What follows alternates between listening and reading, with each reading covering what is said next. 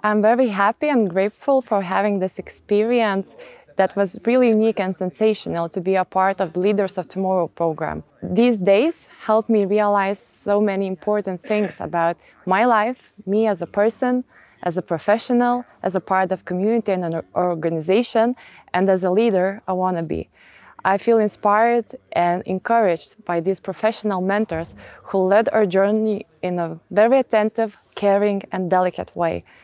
I invite you to join, not only for yourself, but for the civil societies we live in too.